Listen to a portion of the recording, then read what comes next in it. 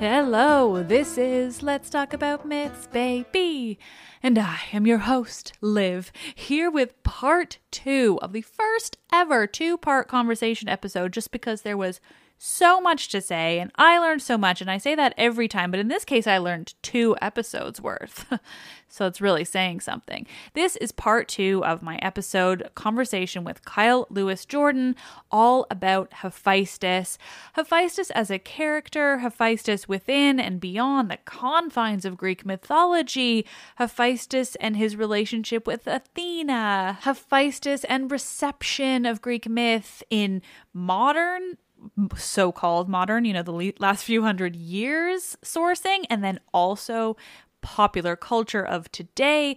So much about Hephaestus, all also like in and around the realm of his impairment and disability within the Olympians and all of that. So fascinating. I'm just so thrilled that Kyle had the time to talk to me for this long, that we got so much into these episodes, that I now have this episode that came out on Tuesday all about Hephaestus as a character. You know, the things I had kind of missed in my mentions of him in the past, and now, you know, I'm able to see this whole new world. Anyway, now, one thing I realized after editing the episode with Kyle is that I didn't ask him to share where you all can and should follow him on the internet. So I would highly recommend that you follow Kyle on Twitter, where his handle is the very Egyptian at Horus of Nekhen. That's H O R U S O F N E K H E N. Where he says you can follow him for all sorts of other exciting disability in antiquity and Egyptology related content. Also, I have put two links in the description of this episode where you can watch a couple of the talks that he has done on disability in Egyptian mythology and just Egyptology in general. There really is so much to learn, and there are such cool people doing the work on it. This is so much fun for me, uh, such a thrill. I can't wait for you to hear the rest of this episode. And so, without any further ado,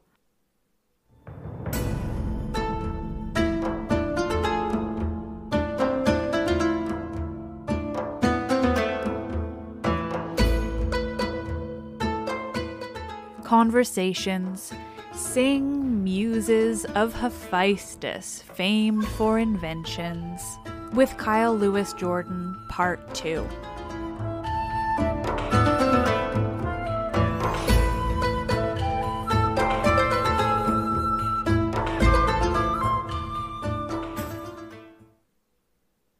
In terms of his relationships with other kin, I think actually his relationship with Athena is probably the most interesting mm-hmm. because the two are essentially, you know, in a manner of speaking, the two are inseparable. If the, mm-hmm. if, if if one is doing something, the other is often not too far behind in some way mm-hmm. or fashion. The two work together quite a lot from what I've read, at least, or from what I've seen. And obviously, the two cults in the in the actual physical world are very closely um, entwined. Obviously, at Athens, you have the Acropolis and you have Athena's temple, but not too far away from that, you have uh, the temple of Hephaestus as well. Mm-hmm. And there is actually, um, I don't know what the right word is, because obviously the the gods, depending on location, had different epithets. But uh, mm-hmm, there is mm-hmm, one mm-hmm. epithet of Athena, which is Athena Hephaestia, I think, is the is the, is hmm. the which is the which is basically the partnership of the two not in any way obviously a romantic one but it, instead no, it's like it because she is is the cunning uh, kind of goddess of industry and he is obviously the craftsman. So the two go hand in hand. And obviously, their their relationship in terms of as far as the myths go. Again, if we go back and we accept the variation of the myth where where Hephaestus conked Zeus on the head and out came mm-hmm. Athena. Which is one of my favorites. Yeah, I think it's just the image, the image in my head. Like I said earlier, I just love it. Uh, but yeah, the idea of obviously Athena springs forth, and there they are. And again, on the Parthenon frieze, like I mentioned earlier, where he has his crutch, who's he speaking to? He's speaking mm-hmm. to Athena because the two just seem to have this have this like near constant relationship because of how close their natures are and i think obviously for athena that is that is just its complement to her kind of wider thinking kind of scope that she can obviously see that this is this is a relationship that's beneficial to her especially mm-hmm. complete connection there he's the craftsman god and she is a god of like the womanly crafts mm. which is her only sort of explicitly feminine attribute um, mm-hmm. to an otherwise fairly you know uh, genderless god as mm-hmm. um, julie levy pointed out yeah that that you know uh, uh, other than than you know her her being athena being this this goddess of, of womanly crafts and and then her you know so-called birth and this will we will get into that with hephaestus of of the athenian people mm-hmm. you know she she's other, otherwise fairly genderless but but they are uh, have an explicit connection there um, by mm. both being these like two sides of of craftsmanship and of mm. creation which i think is is kind of fascinating there yeah no absolutely and i think uh, obviously the two have she she has gained a lot from obviously his craft he made her her her fleece obviously is one of the one of the big things that comes up. One that even Zeus borrows on occasion, which I just her, yeah I, I love. I just find hilarious just this idea of oh this looks good, I'll take that, and you know the two work together. There they also help Herac- Heracles in in mm-hmm. his labors. Um, it's the mm-hmm. sixth labor, the the birds, the the kind of harpies, oh, the Stymphalian birds, Stymphalian yeah. birds, yeah. They they work together to to basically help him do that, which is just a cool little tale, I think. Yeah, and there's just so much you can take away from it, especially because obviously, as you mentioned, uh, what often gets focused on is his attempted rape, mm-hmm. essentially, of, of Athena, and how she basically is like, not having none of that. Yeah.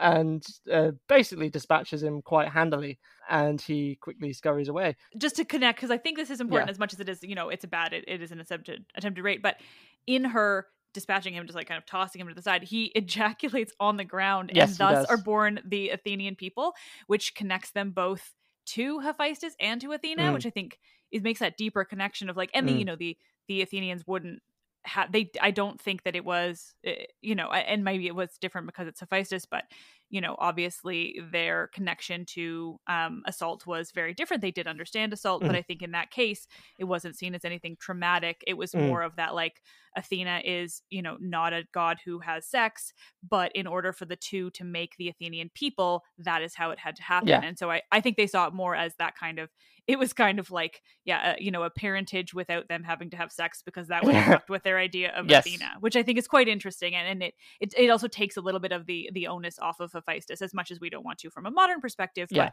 when it comes to them, it was that major connection of of you know he he also was a sort of unofficial parent mm. to the to the Athenians, which is important.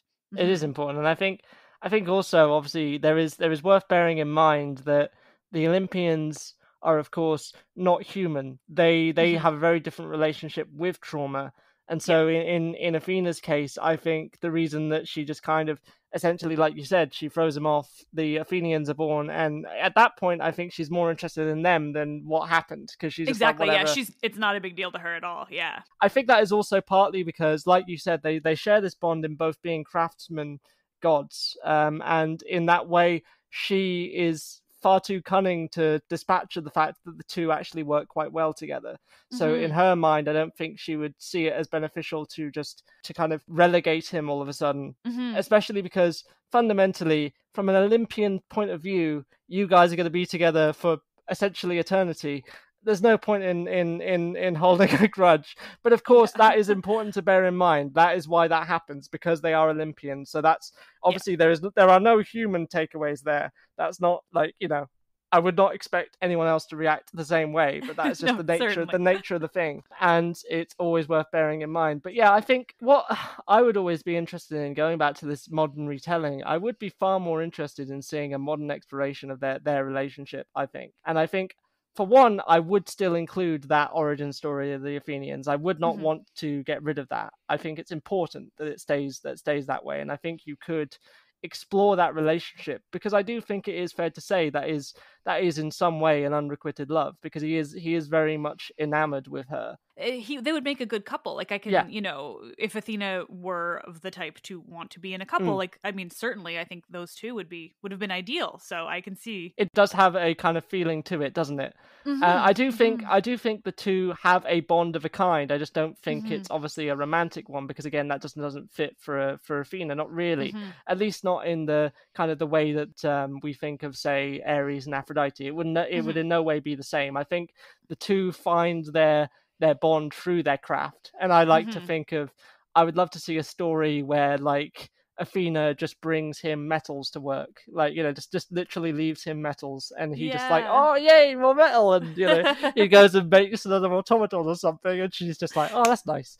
Or you know, the two the two team up to beat up a giant or something. I don't know, like just Mhm. anything. You could you, there is so there is so much to that relationship that you could explore, and it's also a very interesting way in which you could explore this modern ideas about I relationships and be his nature as a disabled god. I think that more so than the than than his than his marriage with Aphrodite because that is so complicated and multi-layered in a way that it would be difficult I think to do either side justice Agreed. Yeah. because of course like I said earlier I don't think I I don't judge Aphrodite in like saying oh how dare she do that because again this was not a marriage that she that she consented to and Mhm. she's the goddess of love and and all the rest of it but it, again it makes it complicated on the other side because again of the lack of agency and and all the rest of it. But i think with Mhm. athena and and and hephaestus you have a much more equal partnership which could very much explore that idea of like them kind of exploring those boundaries together and eventually in the aftermath of the athenians being born the two of them just saying like all right look we have children now i guess. Uh i guess we have a responsibility to uphold. And so the two of them just kind of agree this is just how we are going to be uh kind of work together from now on and i think that could be done in a way where both of them kind of walk away kind of happy with the with the, with the circumstances ha- as happy as olympians can be i guess. But i do think it would be a very interesting story to tell with a modern lens. I think there are so many layers of that that you can unpick and it also fundamentally it would be a great way to again dispel this quasimodoing of hephaestus. You could actually show him as this again equal partner. He's not I would hate to see. This is another reason why I would never want to see much picking apart of Aphrodite and Hephaestus, because that's far too easy to do Beauty and the Beast, Mhm. which is just one oh, thing that's so true. yeah Mhm. which uh, disability in in myth but also folklore far too often gets connotated with with uh, beast beastliness i mean yeah, even monstrosity. in Mhm. monstrosity even in in the greek myth for instance uh, one one other aspect of hephaestus's nature that we didn't address earlier is that he sweats and he's the Mm. only god that's really described as sweating apart from funnily enough his mother.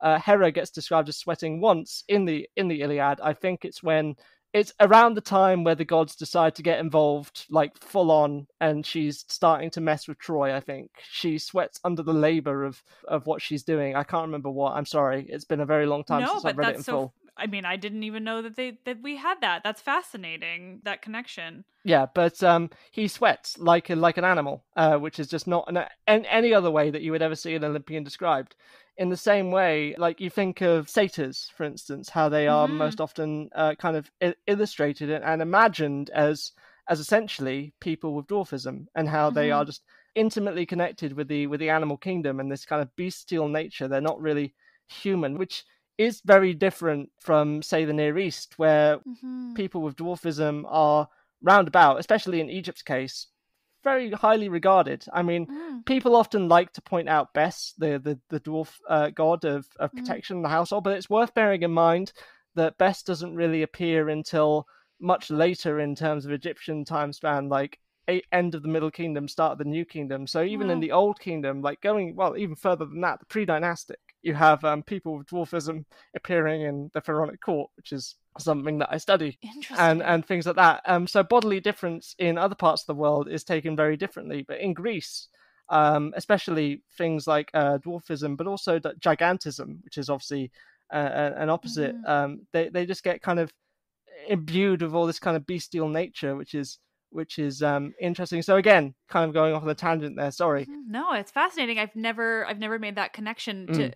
uh, to me there's so many creatures that are so fantastical Mm. um that I've never thought to make that connection so I think it is it is really fascinating because to Mhm. me it's always satyr I've always connected satyrs with like centaurs where or like Mm. you know just like just completely completely fictional fantastical characters and and therefore like unhuman but not in any Mhm. kind of way like that that's really interesting and Mhm. and certainly makes sense to to that that that's sort of the yeah the connection and therefore like a yeah uh, the the comparison to Egypt is, is Yeah. quite interesting That's again why I would kind of be apprehensive of, of doing an Aphrodite Hephaestus mhm. story. At least at least to start with. I think it could be done, but it would take a lot of unpacking and I think an easier start would be looking at his relationship with Athena instead. Mhm. especially because I think from Athena's point of view, um, she she looks at him as far more than an equal than I think most of Mhm. most of his peers do, with the exception of a few. He does have good relationships with again, like I said, Prometheus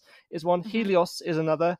Uh, Mm. Actually, in the story, Oh, yeah, obviously, of. Aphrodite and, and Ares, it is Helios who kind of alerts him to the to the realities of um, that. I and actually then spies for him later yeah they spies for him later. connection, yeah uh, that's again because everyone is in, in this odd way. They are indebted to Hephaestus because of Mhm. the things that he makes for them. Obviously, Hermes and his sandals, Athena and his fleece, uh, Helios and his chariot.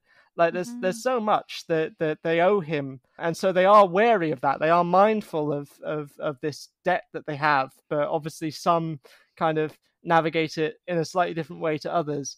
But in Mhm. cases of like Helios and, and Athena as well, I think Athena Mhm. takes it as a sign of friendship in a way. I Mhm. think, and and again, just because of their natures, and so I think you could tell a very equal kind of story, and you could explore their their kind of their natures respectively through that, and and could really do do it justice. I think in a way that I really think disabled uh, representations in myth and folklore deserve to be told because Mhm. far too often it is again linked with this kind of monstrosity and things and that's kind of always what errs me on the side of caution whenever people do have this kind of uh, overly negative reaction to Hephaestus. I can completely understand it. Again, don't get me Mhm. wrong, but it's like I would.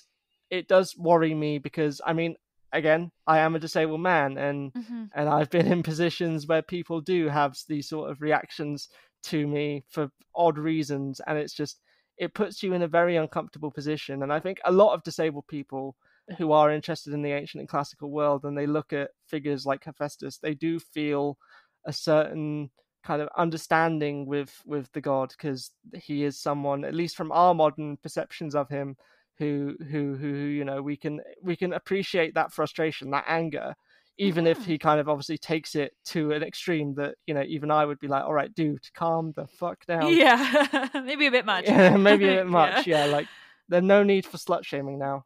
Yeah. Yeah like it's it's just if anyone who is listening who likes to do these modern modern retellings because i've seen because I, I saw you tweet a while back and you had these uh you were asking people about art uh who did art Mm. and i saw this lovely um comic i can't remember the name i am so sorry if they're Mm. listening um but someone posted this lovely comic and that actually showed hephaestus and it was like so my name's hephaestus and this is my wife aphrodite and her boyfriend ares and and that was interesting I like um, that. yeah, but um, it was pretty cool because he was in a wheelchair too. He looked pretty. neat- He looked pretty neat. Mm. Although, um, and this is not a criticism of the artist, just to be clear. It Mhm. did. It did strike me that the that Hephaestus was depicted as as kind of orcish. I guess I would describe describe him Mm. character. And I, I have no doubt that the artist had no ill intentions in that regard. But again, it is it is telling that disability is often paired with monstrosity, even if it's intended not to be ill. It's it, it, it often happens that way. So I would Mhm. like to see a presentation of Hephaestus that doesn't do that, that tries to Mm-hmm. show that he is literally an Olympian by all accounts, except in the way that he is treated. And by Mhm. that nature, that is how he is disabled. And again, Mhm. I think you could explore that through his partnership with Athena, and therefore by proxy, his the other gods by comparison. I have so many incredible thoughts based on on all of this. So, for one, I think uh, so. Just thinking about Hephaestus in this way, and and his relationship with Aphrodite, um, you know, based on kind of everything you've you've brought up, and just sort of, you know, not not absolving him at all, but but re, you know, just looking at it from this different lens. Um, I think. It, I think something that um that I've personally overlooked, and again, I, I'll admit to fully, you know, not ever giving Hephaestus his due, but I think that uh, you can see his uh, marriage to Aphrodite as not only being non consensual on her part, but on his as well.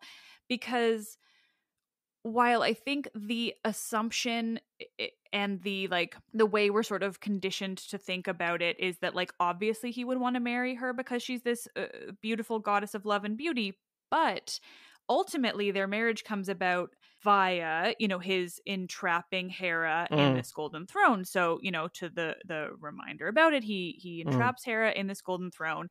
It, they're all trying to free her, and and you know Zeus basically promises gross promises marriage to Aphrodite to whoever can free Hera, mm. and and Ares fails and thus doesn't marry her. And then I forget who it is. It's probably Poseidon because he's such a gross god. Um, like I think it's Poseidon who who goes to mm. Hephaestus mm. and is like, "Hey, you know, if you just let Hera go, you know, you can marry Aphrodite." And so I think because of that, it's sort of taken as if as if Hephaestus is like, "Oh yeah, hell yeah, you know, I'll marry this woman against mm. her will just by freeing this person that mm. I entrapped in the first place." But I think if you ultimately turn it around and look at it, that Hephaestus's role with the Olympians and his, you know, his treatment was such that he was coerced or felt like he had to free Hera and thus was ultimately forced to marry Aphrodite. Like not necessarily that he was like, "Oh yeah, you know, I'll do it because mm-hmm. I get to marry Aphrodite," but as if he freed her, you know, either because he changed his mind or because he was convinced or because they held it against him and and he knew that his life would be easier if he did, but ultimately was led to marry Aphrodite even though she didn't love him. And then you have all of these things because I also think and this, you know, is not super important, but I think it, it's a side note that adds to everything is that my my standpoint is that Aphrodite and Ares are the only representations of actual love amongst the mm. Olympians, romantic love. Mm-hmm. I I don't see another example of that that is like a mutual ultimate romantic love with gods like that. And so I think that, you know, Hephaestus getting stuck with Aphrodite is equally bad for him. Like, mm. You know, he, he, would, I'm sure, would love a wife who loves him, but here he's forced to marry this woman who doesn't love him at all. He doesn't love her. Like, so many things can be read into that, but I think ultimately they are, you know, based on eh, both his disability and the patriarchy. It's assumed that he would just want to marry Aphrodite because she's gorgeous, you know, this like, well, she's a beautiful woman, so obviously mm. he wants her. Like that eh, that level of you know it, it it says a lot about women and people with mm. disability this connection with like the way that you know ultimately everything was determined by these like you know hmm. able-bodied mm. men you know and so i think that's quite interesting to look at it that way as well and, and it it doesn't take you know it doesn't absolve him of of what mm. he does but it does make it a little bit more it, like you can kind of you can see a little bit more where he's coming from yeah. and and it makes it a little bit like the anger i think more comes from you know his situation versus like this kind of inherent and not situation based on his disability but based on his like mm. life with with aphrodite that would probably yeah. suck right yeah. like and, and, so i think it's it's just an interesting like extra level to to look at it when it comes to him Absolutely, I, I like a lot of what you said, and uh, I think um, from my retelling, it's Dionysus who who goes down. Oh, you're like, right, it's yeah, Dionysus. It's Dionysus because he gets him drunk yeah. and he brings him back up on an ass, which is all, also another aspect to the yeah. story. If you did want to take that idea that he is technically forced into this marriage as well, he is imbued, he is drunk, he is not mm-hmm. consensual in this regard. He is like he has literally been coerced into accepting yes. this marriage. Um, so you could take it that way as well. The way I always remembered the story was that actually he he he kind of um, freed Hera, and then he was kind of like, and now you're married to Aphrodite. To which I think he's like, what? Like, because remember what he's asking for when he when he does that. He just wants to be accepted as an Olympian yeah. on his own terms. That's what he's asking yeah. for, and by his mother, and like by his mother, like a motherly acceptance yeah. and Olympian acceptance. And what and what he gets is like not what he wants, and it's the same story with the with what happens with Aphrodite, Ares, and, and him, he goes mm-hmm. expecting his dowry back, and he doesn't even get that. He gets Poseidon offering to pay the dowry, which is not the same thing. It's not the same. It's not. No. It's not the. I mean, remember these are gods. He doesn't care about financial implications. It's mm-hmm. it's it. That's irrelevant to him, especially as a crafting god. He can make whatever yeah. he pleases. Yeah. It's for him. I think it's the acceptance of of who mm-hmm. he is and what he is, and that he is as deserving of the status of his kin than anything else. But he's denied that again and again mm-hmm. and again, and that is what I think torments him, and therefore mm-hmm. subsequently makes him this very very angry and and sometimes very violent kind of god and again that does not absolve him of the of the nasty mm-hmm. things that he does you know i'm not I'm not saying that he was right to do what he did to Mm-hmm. Aphrodite or anything like that, but it, it, it does show again. It goes back to what I said a lot earlier. It shows the desperation that he felt that was what he felt he had to do. In the same Mhm. way that he felt he had to buy his way into Olympus by effectively threatening them and being like, you know, let me in or else. And Mhm. yeah, it's that just defines their relationship. And I think with Aphrodite and Hephaestus, this kind of comes back to what I was saying at the very beginning when, when I mentioned how in modern interpretations he does get Quasimodo. And I do think this is sometimes paralleled with, with or, or because of, reflected upon his relationship with Aphrodite.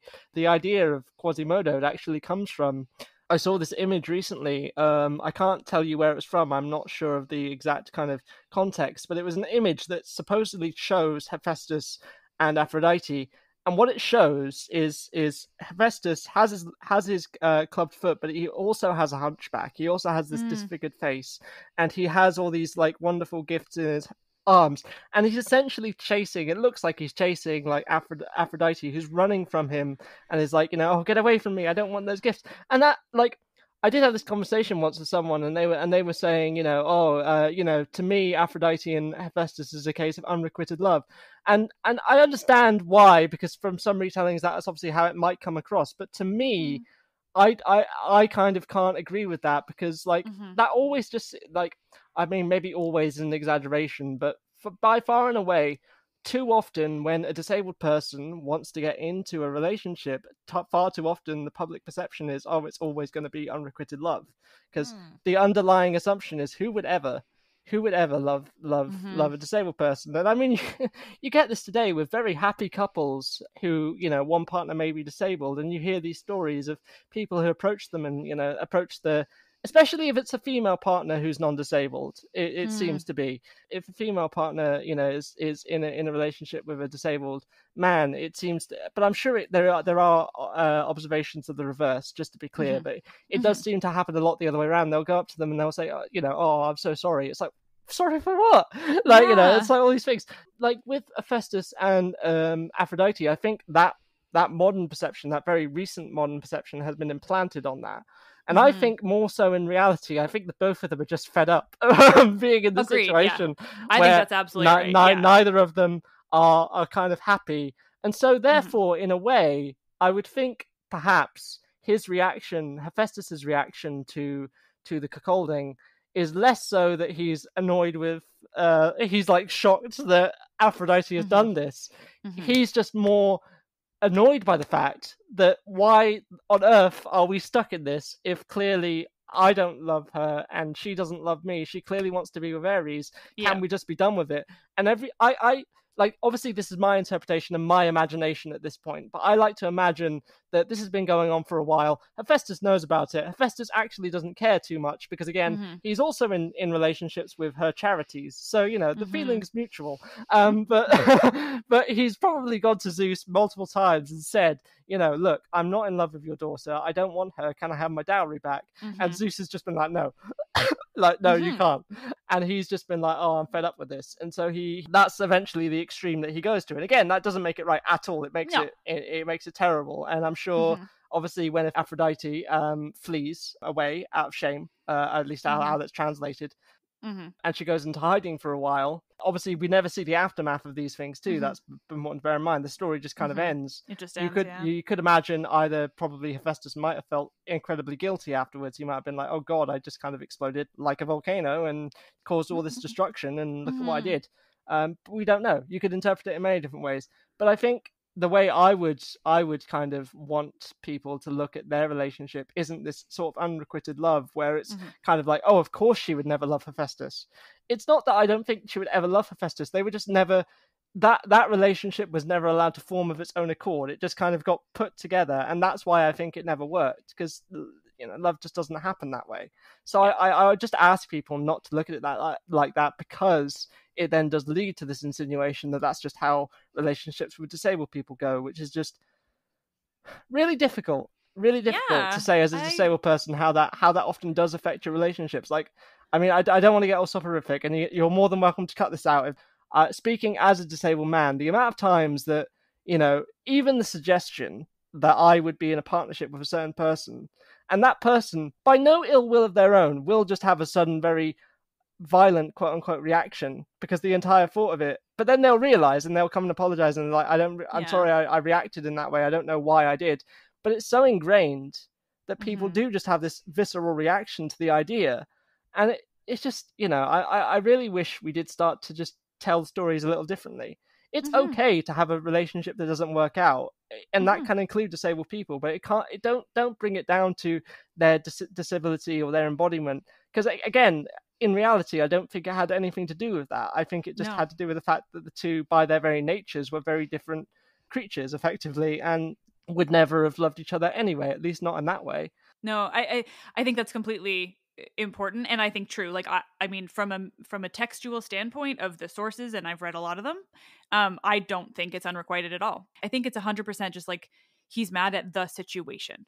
You know, it, it- it's not a good situation. He Yeah. it makes him look bad and you know whatever you want to say about that, but that's more that's more to do with the the way it's written and who tells the stories again. But I don't think it's meant to suggest that it, that he's like obsessively in love with her and, and she doesn't love him back. Um, and I do think yeah that that that that comes in later a, as these interpretations of it. But in the in the sourcing, it it really isn't there. You know, Mhm. he he marries her because of the situation with Hera and because of Zeus. There also is some sourcing, I believe, though I can't think of what it would be necessarily, um, Mm. that suggests that the, their marriage comes about more directly through the machinations of Zeus Mm. uh, and just him wanting Aphrodite, like quote unquote, off the market Mhm. um, with a man like Hephaestus, which I think Yeah. is a you know that's that uh, Mhm. again is the suggestion of you know taking you know the effects on his hmm him as a person and his agency completely and it, it is more suggestive of you know just how shitty zeus is as we all know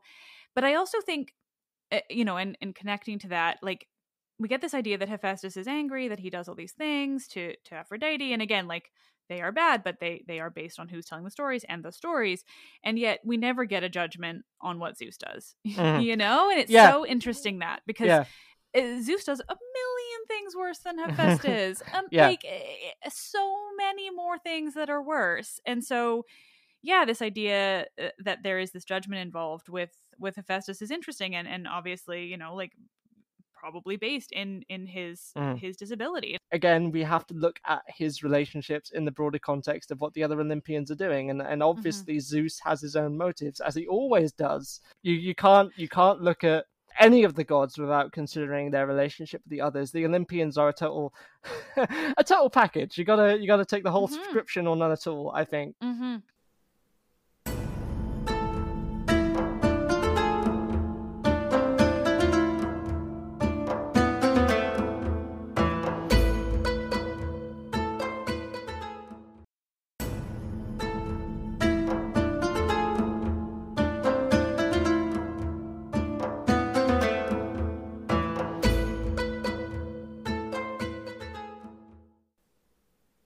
Reflecting back on what I said about um, the the kind of association with beastliness and this sort of thing, because beasts, obviously in particular, animals that sweat. So you're thinking of asses, of horses, of things, pack pack animals, basically. Mm. Pack animals often associated as well with slaves, slaves taken Mm, from mhm. war. Hephaestus. Obviously, I think it would be a stretch to say that he is in any way associated with with slaves. That would be far too much of a kind of stretch. But I would say it is an interesting kind of thing to think about how he labors away in the forge to do all these things Mhm. for the Olympians in the same way that this these are societies that ex, that extract great amounts of labor from bodies of Mhm. people that they have conquered or st- stolen or bought from elsewhere in the world and that often gets erased whenever we think about their stories or their cultures or their achievements you know you Mhm. must you must critically if you ever want to study the classical world you must consider slavery in in every Mhm. in every aspect you really must because it is foundational to everything that they did um and in in in that sense when you think of labors when whenever you see labor discussed or talked about you're not thinking of workmen as we do today you're thinking of slaves Mhm. um, and in, in that way, you know, Hephaestus sweating and toiling away, huffing and puffing, like he does in the in the in in the beginning of the Iliad when he's Mhm. toing and froing with the drinks. You know, it's never explicitly stated. And again, I think it would be far too much of a stretch to say he's treated like a slave. He's nowhere close Mhm. to that. But Mhm. it is interesting to look at the conflation between the disabled body and slavery because Mm-hmm. the slavery by its very nature is a very violent act uh, does disable disability is not just something that you are born with it is something Mhm. that you often are transformed into it's the body is malleable it changes and it can change under a lot of stress and a lot of trauma and Mhm. slavery is key to that and especially for the romans i can say the greeks less so but the romans had this odd fascination with disabled slaves they Mm. they you know you you have um market advertisements asking for deaf or even uh, i think deaf slaves were quite popular because of course they can't hear you so they Oh, you know you can you, you they won't they won't basically be brought out to spy on you or what have you i don't know Yeah. um yeah. there's stuff like that so but also like they loved they loved having slaves with any sort of physical sort of difference to them because they and they, these people are collectible so again this is Mhm. something else to bear in mind when you're looking at disability in the ancient world especially greece and rome is Mhm. is this association with things and and that again ties in with that beastliness and i think while again hephaestus i wouldn't call him a slave by any means Mm-mm. his labors and the and the toll that takes on him are, are something worth bearing in mind when we think about embodiments and and and how that manifests and how he manages that because he clearly has the capacity to manage it. He makes these automatons and all these things to aid him. If he's allowed to use them Mhm. that makes his job hell of a lot easier. But when the olympians deny him that it obviously makes it 10 times worse. Fundamentally what my my overall taking away point from this is not just about Mhm. hephaestus. It's that if you can see it on this mythological level if if it exists on on this um kind of theological level or whatever you want to call it then clearly it goes deeper than that if these gods are a reflection of the inner natures of humanity to what extent or another Mhm. then I think as well his the decision to have him embody this says something more than I think it's ever been given credit for until maybe very Mhm. re- recently. So again, just bear that in mind. His his relationship with sweating, his relationship with anger, all these things, and his relationship with the other Olympians, and how that's supposed to model in certain respects this kind of ideal of of how society should ex- exist, or at least how how elite society should exist. Because that's the other thing to bear in mind. Again, how how these stories were produced for whom and by whom um, and and that's the other thing. We don't see the variations that would have been had amongst everyday greek people or everyday roman people where attitudes would have been fairly different for sure but we just never know and we will never know but we do have ourselves to to reflect on and to interpret these stories so all those interpretations we discussed about aphrodite and hephaestus or athena and hephaestus you know people are like oh but they're straying from the original myth it's like well actually Mm. you know i don't think there ever was really an original myth a lot of these myths started from oral traditions which just mal- Mhm. manifested and changed in very different ways and that's just the nature of humans we are a storytelling creature by by nature so yeah it's Mhm. it's just again so basically I hope this discussion about Hephaestus and, and his very complex nature gets you to reflect on how much deeper, the further you go, how much it permeates throughout these societies. Because it isn't just there by accident, it isn't just there for aesthetic. It's it's much deeper than that.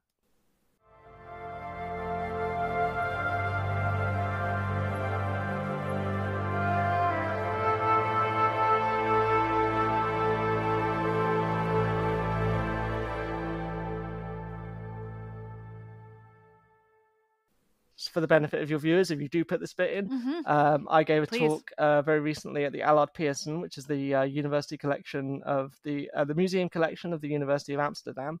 Uh, we were looking at disability in antiquity, and I gave a talk on an 18th century BCE Egyptian woman uh, called Geheset, which means gazelle, and she is the earliest known case of a woman with cerebral palsy in the ancient world. Cerebral palsy is the condition that I have. Um, so I spoke about her and tried to kind of, as a disabled scholar, give the sense of not looking at disabled people in the ancient world as just embodying their disability alone, or as if, as if everything happens either because of or in spite of their disability.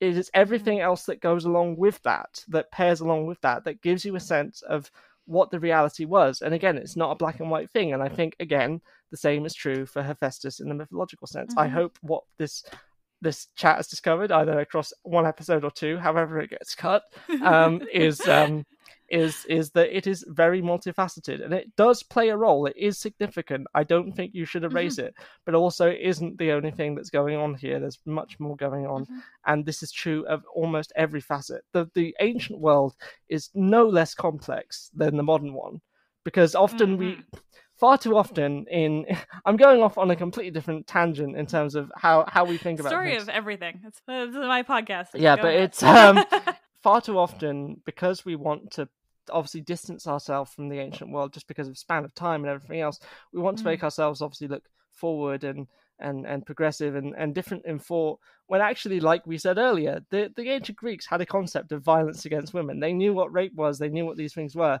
Obviously you could you it is not incorrect to say that women were unfortunately very very much oppressed in in those situations but that does not mean that they themselves were not conscious of that and did not think about that we often too often we we kind of make the past look dead like it's static like it didn't have emotion of Mhm. its own like it didn't have conscious thought of its own and obviously that's partly because we can never hope to embody it fully but that doesn't mean that we shouldn't try um, and in in that case in that case obviously from the example of speaking about disability in the ancient world like i can only hope that by being a disabled scholar i can help at least open some doors to at least understand what it's like to live in a disabled body. I can never speak to anyone's embodiment in the ancient world fully because obviously there are just some things we will never really truly know but it doesn't mean we shouldn't try.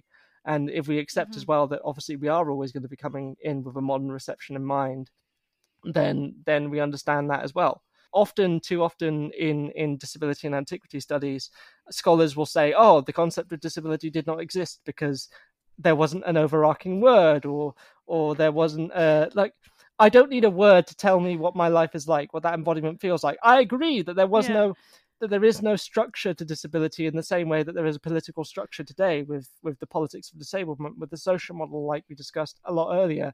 Mhm. But that does not mean that disability did not exist. That's far too sweeping a statement. Of course it existed. Mhm. Uh, Of Of course course. it existed. It's always existed and it will always exist. And it, it just Yeah. changes. The nature of it changes, both in terms of its embodiment, but also in terms of how our relationships go with other people.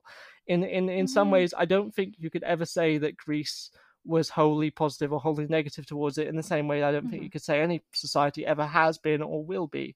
Uh, it is just the Mhm. way the way things are. Humans are complicated like that you know far too far too often you know people try and find those absolute answers and there really never is one and i think if we just Mhm. accepted that we might be a little bit more not only a bit more content with the with the, with that reality but also open up our minds to being able to see how much more complicated and multifaceted the ancient world was just like it is today. Completely true. Yeah it's interesting to me how much that connects with so many of the things i talk about um but so explicitly like you know the i don't want to lessen anything so you know Mhm. and please be perfectly honest with me if if if what i say does at all um because i think this is a really important topic but i think that just looking at it the way that like people um treat uh, uh, women Mhm, and and mhm. like uh, assault and things it, it's so similar in the way that people like to think that because uh, because women you know were or the, they, certainly women were property and all of this but Mm. that because you know all the gods were you know assaulting all the time that that somehow that meant it wasn't bad or Mm. you know the the the thing that comes up for me so often is that like well given hesiod as our oldest source for so many things like if hesiod didn't say it was assault then it clearly wasn't assault and i'm like that's so fucking Yeah. wild and also b- betrays a complete lack of understanding of hesiod as a person um, because he has made his his views on women very clear Mhm. and thus would have never cared to say whether or not it, it was assault um, and that doesn't mean that we can't obviously look at something and, and you know say that objectively it probably Mm. was um, and so it's just so interesting the way that that the connection is made to you know m- negating that these things ever even were a thing back then in the same way that you're Mm. saying you know this idea that disability wasn't a Mm. concept back then and it's like just because that we have changed the way we have understood these Mm. things and have better terminology and and you know ways of, of verbalizing what what we're talking Mm. about and understanding and and all of these things it doesn't mean that it wasn't just as you know important and and and like and valid back Mm. then it's just that everything you know the the way we understand these things changes based on the world around Mhm. us um and and so yeah i mean i think it's it's such an interesting way to i just think it's so relevant to to everything i talk about in my podcast so many connections to be made there in terms of Mm. the way that we view these things the way that pop culture views views mythology and and that disabled people in mythology but so you know obviously the the connection is so explicit to to hephaestus and and the way that I mean this this connects to the the last thing that I had Mhm. to that I wanted to get your thoughts on and, and also bring up um is you know we were talking about reception Mhm. earlier of of pop culture reception and you know lack of or the way that Hephaestus is turned into this like m- monstrosity you know this like almost inhuman looking person in a way that the olympians are so very human in their in their appearances. And so so two um depictions of hephaestus come to mind and Mm. and very different and so i wanted to know whether you've heard you've seen them and also your Mhm. thoughts. So first um have you ever a lot of people didn't don't know that disney's hercules they made a tv show after? I did know that there was one, but I haven't seen it because I don't think it was really aired in the UK. fair. Yeah i feel like it, it definitely like is not a thing that Mhm, most people know of um i happen to be the perfect age to have watched it and also in canada Okay. so it was ideal um but i'm going to going to send you a picture Ooh. of a bunch of the gods yes and i find this i mean you know it's very Mm-hmm. 1990s uh but i i find it so fascinating so hephaestus in disney's hercules the tv show i don't think he's in the movie no, I don't think he ever appears, from what I remember. Yeah. Um so he's this like big buff clearly meant to be very good looking Mm. man working at his forge in a lot of episodes and he is he's yeah in- incredibly you know very jacked like strong man and i i don't think that he is depicted as having any sort of visible disability whether they meant to Mm. like fully erase it or not i mean uh, certainly if that was the case Mm. it's not ideal Mhm. uh, uh, but and then Ares is is this like basically he's like the polar opposite of Hephaestus Mm. in a way that you don't expect based on knowledge of the myth and, and past representations Mm. I would say and I think that's uh, partially because they have Ares or they have Aphrodite very happily you know with Mm. Hephaestus and not with Ares. um but I think it's very interesting that decision because it's very counter to what you Mhm. see a lot of Hephaestus and and then there's also and sort of uh, the complete i would say like near opposite of that is have you seen the very recent um depiction of hephaestus in lore olympus the webtoon I have only just started reading Lore Olympus, and I haven't got anywhere near hephaestus's appearance yet, and I was hoping that he would appear, so I'm glad to hear that he does.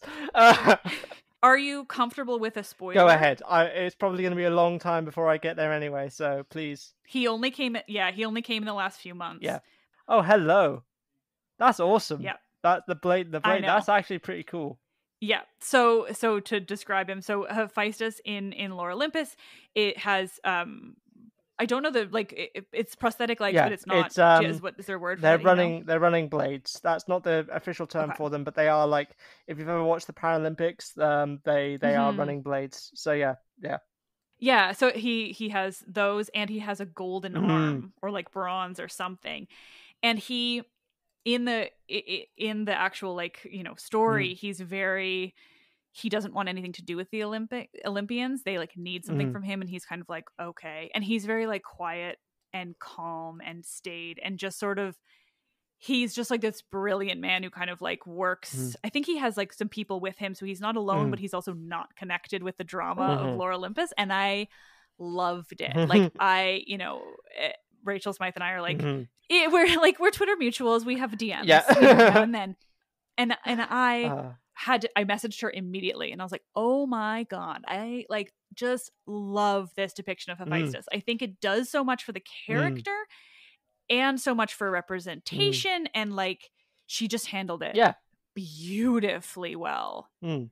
And I think, you know, it, I think it's it, it was the perfect way of not remotely erasing his Mm. disability and instead making it like his kind of strength Mm. and making him like she completely took away his anger took away there's no there there's no real relationship Mm. with i think is clear from the rest of the comic that there's no relationship with aphrodite Mm. he's just like on his own and i think she just basically turned Hephaestus into like a real person Mm-hmm. in a way that he is often not. You know, he he's not defined by his bad relationships with Mhm. others. He's not defined by his anger. He's just defined by his skills in Mhm, mhm, craftsmanship and his just like his overall talents. And I think that that's fascinating. I, I loved it. Oh well. Well, but yeah, I mean, those two right there are both really interesting for different reasons. First, with the Disney. Hercules one, I think obviously there's probably a good chance the reason why they they just have him happily with Aphrodite and all the rest of it, and he clearly looks like a really happy chappy. He's clearly like you know, Yeah. he's a good guy. He's just good old Uncle Hephaestus. He don't he don't mind. Um, obviously because you know getting into the nuances of, of his of his relationship with Aphrodite would be far too much for a kids TV show. Um, Yeah, it's I, not I Disney. also, uh, yeah, it's, it's just not very Disney. At least not Disney at that time. I mean, Disney today, Mhm. they love to push the. True. But of course, they're True. you know, the, the mouse has to make money somehow. So, in all seriousness, I, I do like. I, I find the character design quite interesting. I mean, to me, the Mm. way I did read the embodiment of Hephaestus, the way he's described, I do imagine him as quite a big dude. Like I do, the way I Mhm. read it is like he is quite muscular. And I, I would not be surprised if in some way he was at least equal to, if in not in some ways surpassing Ares and the other gods. Like, I mean, I Mhm. think um, obviously um, his dep Ares depiction there is also again Disney's very child friendly way. You can't really just depict war in all its in all its extremities. I think obviously from I remember from the movie Ares is obviously this very cantankerous sort of like you know he just goes charging in sort of thing. But that's it. Like it doesn't he doesn't really embody that too much. Uh, but Mhm. I think um, for me the the the kind of the larger size of Hephaestus to me as a disabled man like just kind of feels right just because like if you've ever looked at a disabled person in general they actually have quite more strength than people ever sort of realize both on the inside and out like you know it Mhm. is it is just the nature of who we are we are very strong people um and so I, I like that i like i think that's a nice touch Mhm. and um yeah i think showing show, showing him happy is is nice um but I think you said you know they don't really touch on the disability aspect of it at all like it just, just does, doesn't appear I don't think so. Yeah. I could be wrong, but I don't think which so. uh, yeah. which uh, uh, in the in a sense is obviously a drawback i think obviously taking that away Mm-hmm. and that's not anything new to depictions of hephaestus whenever he does appear in very brief kind of it always seems to be i've yet to see obviously with the exception of what you've just told me i've yet to see Mhm. a depiction of, a- of hephaestus in like tv or movies at least that ever kind of gives him more than maybe a few seconds on screen like he, he never really Mhm. seems to appear for very long and there's never really a role for him and i get that in a lot of the myths that he's in he's never really that big of a player, but I would kind of like to see more of him in these sorts of ways. So going on to Lore Olympus, Mhm. I find the decisions of Lore Olympus really interesting. And I think as you Mhm. said, that is mostly to its benefit for sure. Like the idea of like kind of taking away all these things that we often associate with him and and humanizing him in this way in a way that we can relate to him a little bit more but also just fundamentally just see him for what he really is which is just a crafter who is just very good at what he does and he's just kind of on the mm-hmm. periphery of these things mostly by his own choice at this point. I mean from the way mm-hmm. i mean obviously i'm very new to lore olympus i only just really started but already what i kind of see in it is that it's almost as if all of the stories that we know have already played out. So at this point it's just it is just kind it is obviously a retelling of the whole persephone story in in in some respect but fundamentally the rest of it is already history to them. They're already just they're, the, Mhm. the gods are just living their lives. So in in to me from the sounds of it hephaestus has already done all this bullshit and is like he's already done with it all. So he's like i don't know whether that's ever something they that they plan to touch on maybe whether they do intend to revisit his relationship with anger at any point because i would like to see that i do like i said throughout this entire talk i do think it's important but that's not a criticism because I do think there is a mm-hmm. value in taking that away from the beginning and just being like, look, this is just who he is. This is this is what he mm-hmm. does. I do find the, the the use of blades quite interesting, and I think obviously that ties in with technology and the fact that he has created his own mm-hmm. aids and stuff.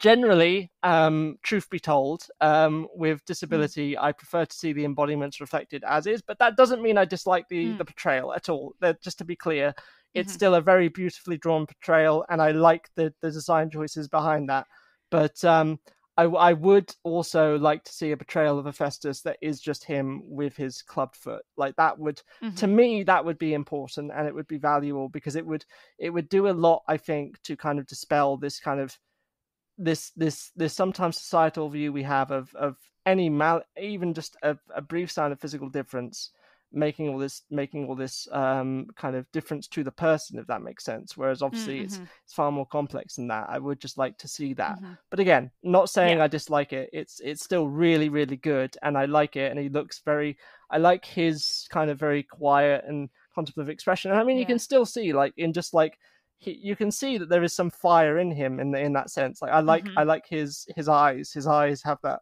kind of fiery glare to them, but he's not intimidating.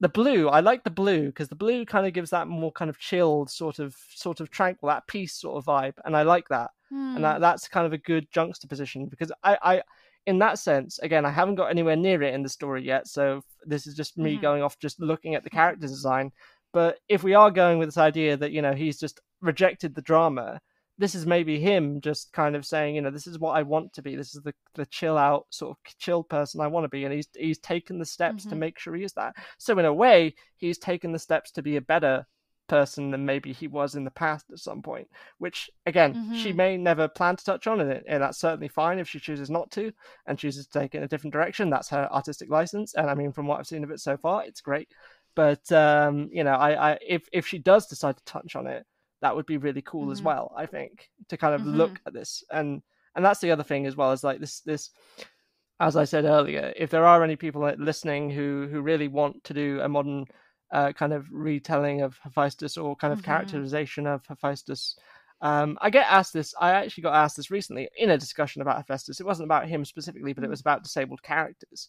You know, can I think the question was something along the lines of, can I have the disabled character be the villain, or or at least you know be a bad person? then it's like, of course you can. Anyone can be a good or a bad character, or anywhere in between. The important thing is that the disability is again it's an embodiment it's not the sole definitive reason for whether they are good or bad and it's not something that defines them solely because of it or in spite of it don't don't frame it as Mhm. that it is just part of who they are and if you're if you really want to I, I would say that if you are especially a non-disabled person doing this talk to disabled people read disabled people. Mhm. you know don't don't expect you know i if you want to learn more you need to be willing to go out there yourself and learn it and to take it in. There's so much great disability literature. I mean even just a more modern recent book you could read for instance is disability visibility which is a book edited by alice wong. Um, it's a it's a book that's very north american centric but that's by its nature because it's a book celebrating the 30th anniversary of the Americans with Disabilities Act.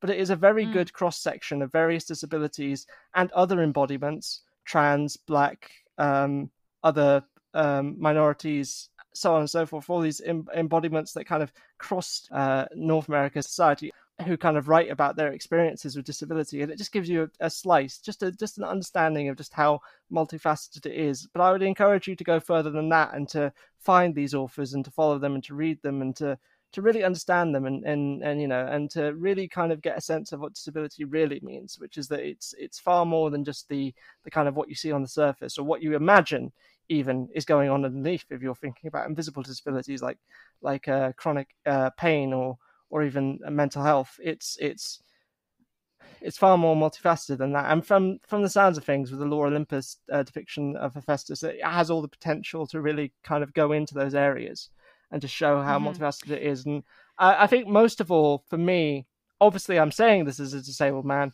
but i would want any depiction of hephaestus to include it and to and to give it its due diligence in a way that sees it as part of what he is, not the sole definitive reason or has nothing to do with Mhm. what he is. Like, you know, I, I want it to kind of Mhm. be part of who he is, but not the sole thing of what he is, if that makes sense. You know? Mhm. Absolutely. Yeah, I think that's a key a key piece Mm. because it, it is who he is, but it doesn't have to be why, you know, why he is why he is or why he isn't. You know, yeah, it, Mm. it's just part of it. hmm And interesting, I'm I'm trying to remember what I've completely forgotten kind of what role he plays in Lore Olympus. It was subtle, it was not Yeah. big. Um, so it'll be interesting to see what more she does. But I also think, you know, and not to turn this into Lore Olympus, but just one final statement on it. But I, I uh, what I like about her story, and Mhm. specifically because of the Hades and Persephone aspect, is that it is more about um, rewriting the Mm. myths than retelling them. About completely removing the parts that don't work for the story that she wants Okay. to tell versus trying to work around them Fair enough. for me that's important because like i can't read versions of hades and persephone where they're they have retold the story to make the abduction okay Mm. versus yeah what rachel is doing is taking that all out hmm completely removing all the pieces of Mhm. it and just telling a story about these two Mm. characters. And that's what I like. And so yeah, when Mhm. it comes to Hephaestus, I think it's more of like he's just he's a separate I mean, Mhm. he's Hephaestus, but he is sort of separated from the things that we know Mm. of. I mean, not necessarily all of Yeah. them, but separated from I think it, I mean some of those some of those pieces that would that would contribute Mhm. there. I mean, I think separated from the the Aphrodite Mhm, pieces mhm. which you know are sort of his most uh, problematic aspects you know Mm. for for whatever Mhm. reasons like related or unrelated but yeah it, it's just an interesting an interesting thing oh my gosh i mean obviously this was great because it's two and a half hours it's going to be probably officially my first two part conversation episode i mean honestly, thank you No, so much thank you, thank you for giving me this platform, for giving me the time just to talk about loads of different things. But I'm very excited. It's been absolutely lovely to talk to you. As soon as I heard that you were interested, I was like, yes, this is going to be great. thank you yeah This is this has been absolutely amazing.